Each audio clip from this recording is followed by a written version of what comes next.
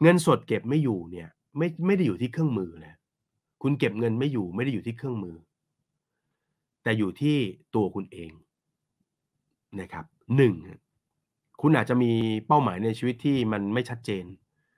หรือไม่มีเป้าหมายในชีวิตเลยฮะคุณก็เลยไม่รู้คุณจะเก็บเงินไปทำอะไร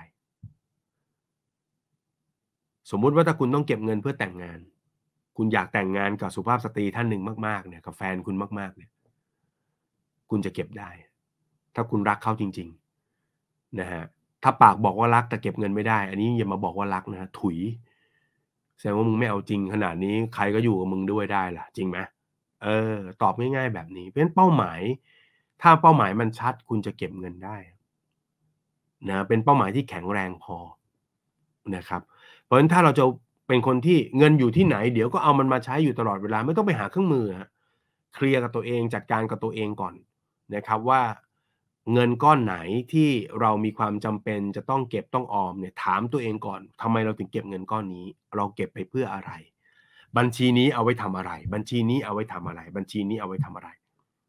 นะครับ ถ้ามันชัดมันมีเหตุผลข้างหลังเป้าหมายชัดเจน เก็บเงินไว้ดาวบ้านให้แม่ อยากจะซื้อบ้านให้แม่อยู่ เห็นไหมฮะ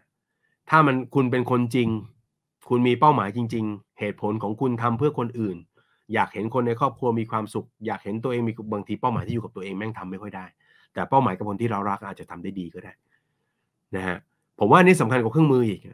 เพราะว่าไม่ว่าผมจะบอกเครื่องมือไหนคุณไปอะเดี๋ยวคุณก็ถอนได้หมดเพราะคุณเป็นเจ้าของบัญชีฮะไม่มีประโยชน์ เอาจริงเมื่อไหร่ล่ะนะครับ คุณนนท์จะเอาจริงเมื่อไหร่เอาจริงเมื่อไหร่ก็เก็บเงินได้ครับ ขออนุญาตตอบแบบนี้นะฮะนะครับ